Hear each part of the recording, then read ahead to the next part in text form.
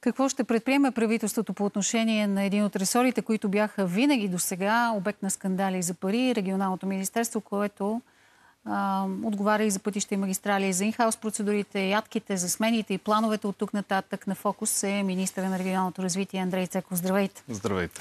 Да започнем малко нетрадиционно. Като че ли на управлението на продължаваме промяната във външно-политически план много не му върви. Когато за първи път дойдоха на власт, започна войната в Украина.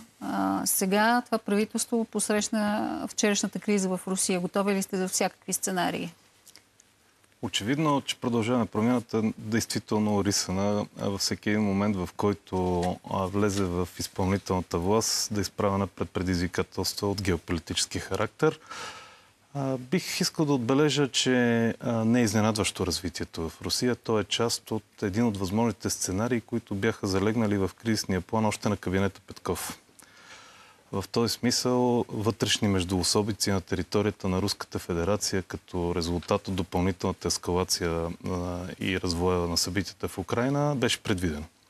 Още в предходния кабинет. В момента, разбира се, плановете се актуализират.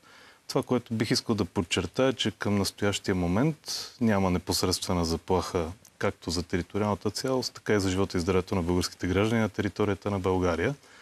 На Разбира Русия имате предвид? Говоря, Или на България? На първо, на първо място на българските граждани на територията на България. Що се касае до нашите сънародници на територията на Русия, непосредствено след развоя на събитията от последния, от края на последната седмица, а, правителството реагира достатъчно бързо, така че да осигури възможност за бързо изтегляне и евакуационни коридори за а, нашите съграждани на територията на Русия. Осигурена е 24-часова връзка, направена е нужната мобилизация, така че в случай на заплаха или на желание на нашите сънародници да напуснат територията на Русия, максимално бързо да бъдат евакуирани. Също времено ситуационният център към Министерство на външните работи също реагира достатъчно бързо, така че да вземе мерки да ограничи пътуванията, макар на този етап това е като препоръка към нашите сънародници към територията на Русия, докато не се постигне известно така успокоение на обстановка. Още един въпрос, преди да влезем във вътрешната политика на България. Как трябва да продължим с помощта за Украина, според вас? Аз мисля, че има ясно решение на Народното събрание от гледна точка на позицията на България като член на НАТО и на Европейския съюз българското правителство се солидаризира с усилията на украинския народ в борбата срещу чуждестранната агресия и в този смисъл правителството ще се придържа към решението на Народното събрание за продължаване на военната помощ. Няма да има чрез... нюанси.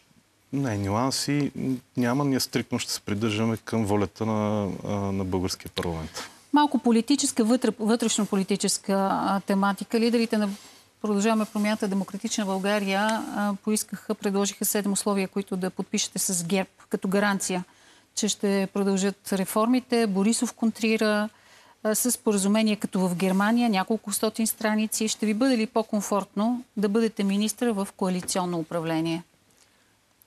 С разписано по германски модел. Аз бих искал да си припомним как дойде на власт това правителство? То дойде на власт а, като правителство, което има ясно и стратегически цели и приоритети, които са в полза на българските граждани. И това е завършване на процеса на интеграцията чрез членство в Шенген и в еврозоната, респективно продължаване на политиката на социалната солидарност, т.е. социалните политики, които имат за цел да преодоляват социалните неравенства и не на последно място връщането на справедливостта в правораздаването и изваждането на политиката от правораздаването.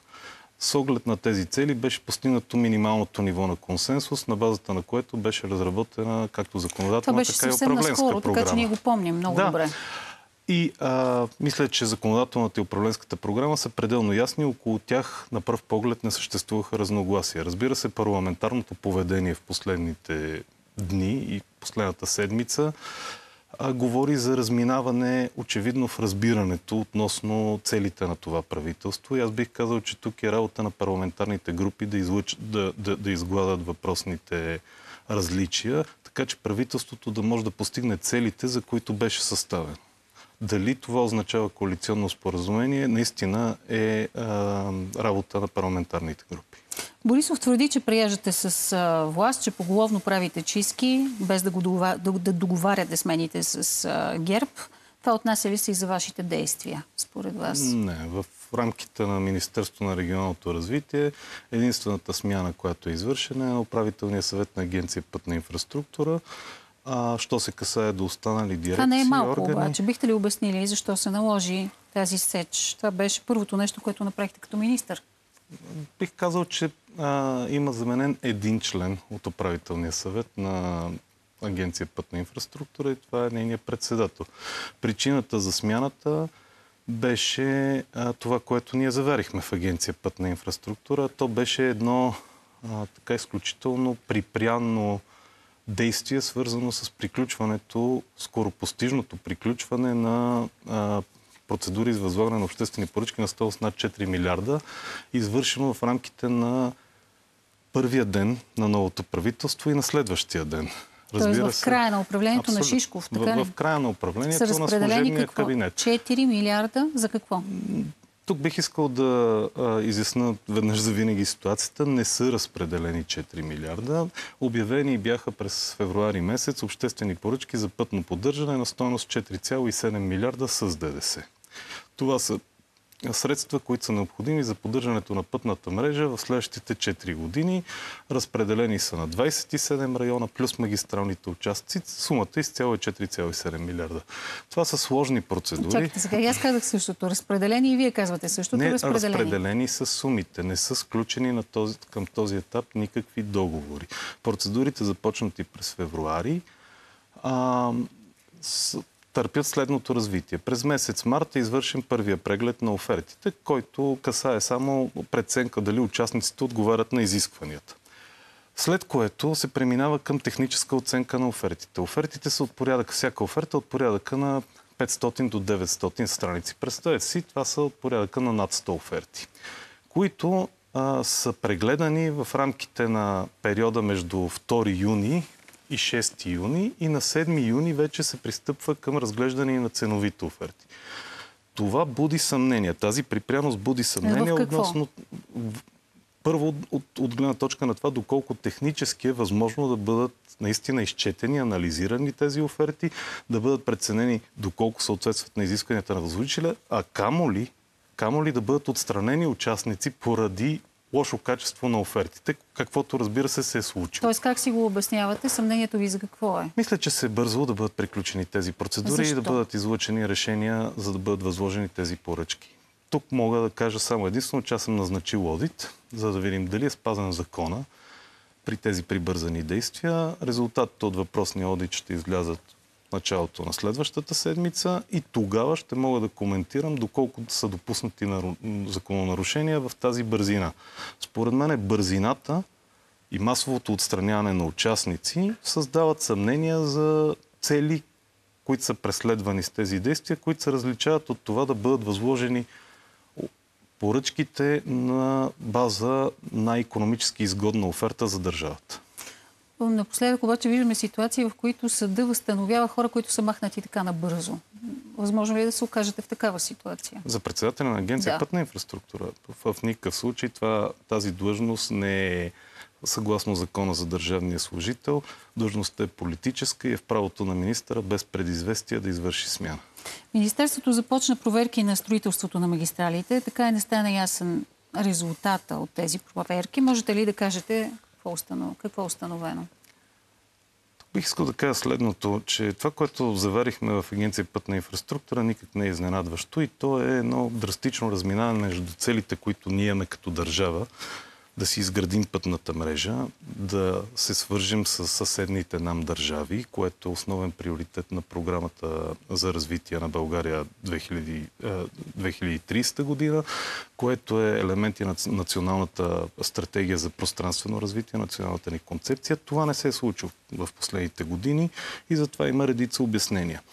А, същевременно... Можете ли да, да формулирате едно кратко обяснение, основно, защо не е станало според вас? Защото... Думата корупция ли стои в основата не. на това обяснение? Бих казал липсата на стратегическа визия за това как трябва да се развива републиканската пътна мрежа. Нашите основни От тъпотия цели... ли искате да кажете, че е станало тогава? От небрежност и, евенту... и, и евентуално от нездрави интереси, т.е. да се насочат средства не там, където са най-необходими, а там, където най-бързо могат да бъдат освоени. И това се е случвало. Тоест с... някой е гонил парите.